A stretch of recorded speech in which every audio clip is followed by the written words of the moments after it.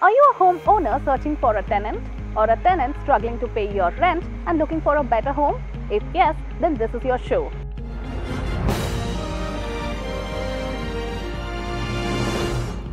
Hello, I'm Priyanka Rachaya. Welcome to this episode of Property Matters. Today, we will take a stock of the rental market in Bengaluru. Many people working in Bengaluru have moved back to their hometowns due to the COVID lockdown.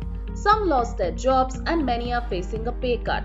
In order to cope with these difficult times, people are moving in with their families or are shifting to different cities to stay close to their near and dear ones. As a result of this, many properties are lying vacant and there were not many takers for it. ಹೌದು ಸುಮಾರು ಮನೆ ಖಾಲಿ ಇದೆ sir Sunday ಇವಾಗ ಸುಮಾರು ಇವಾಗ ಒಂದು road ಎಲ್ಲ ಅಮ್ಮಮ್ಮ ಅಂದ್ರೆ ಇವಾಗ ಒಂದು ಇಪ್ಪತ್ತು ಮನೆ ಇಪ್ಪತ್ತು ಬಿಲ್ಡಿಂಗ್ ಇದ್ರೆ almost ಒಂದು ಹತ್ತು ಮನೆ ಆದ್ರೂ ಖಾಲಿ ಇದೆ ಡಿಪೆಂಡ್ಸ್ ಎಲ್ಲ ಓನರು ಕಮ್ಮಿ ಮಾಡ್ತಿಲ್ಲ.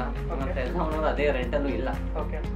ಕೆಲವು ಓನರ್ ಅವರು ಕಮಿಟ್ಮೆಂಟ್ಸ್ ಇರುತ್ತೆ ಇವಾಗ ಲೋನ್ ಕಟ್ಟೋರು ಇರುತ್ತೆ ಅದರಿಂದ ಸ್ವಲ್ಪ ಕಮ್ಮಿ ಮಾಡ್ತಾರೆ. ಕೆಲವರು ಏನು ಕಮಿಟ್ಮೆಂಟ್ಸ್ ಇರಲ್ಲ ಅವ್ರು ಇಷ್ಟೇ ಮೈಂಡ್ ಫಿಕ್ಸ್ ಮಾಡ್ಕೊಂಡ್ಬಿಡ್ತಾರೆ ಇಷ್ಟು. ಮಳೆ ರೆಂಟೆ ಬರಲಿ ಬೇಕಾದ್ರೆ ವೆಯ್ಟ್ ಮಾಡೋಣ.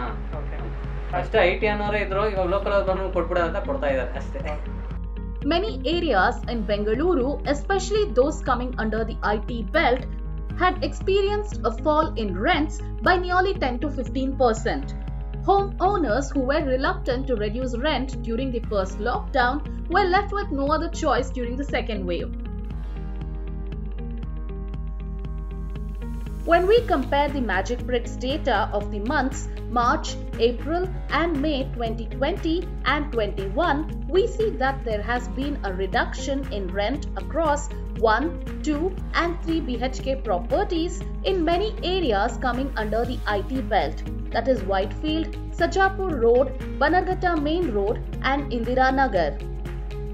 While the 1 BHK properties have seen a slight reduction in rental prices in BTM layout and Jayanagar, rental prices across all other areas and BHKs have mostly experienced slight change, especially in the lower range.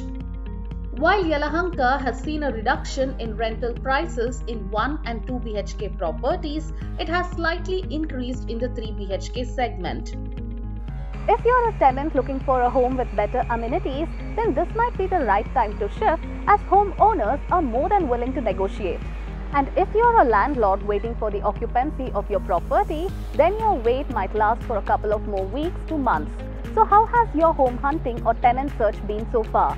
Do share it with us in the comment section below.